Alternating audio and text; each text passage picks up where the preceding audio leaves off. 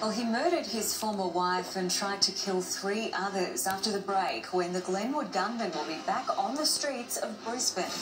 Plus, ocean thrill seekers risking their lives in a notorious blowhole. Also, rare candid photos mark a special occasion for the Cambridges. And in flashback, the end of the line for one of Brisbane's ugliest buildings.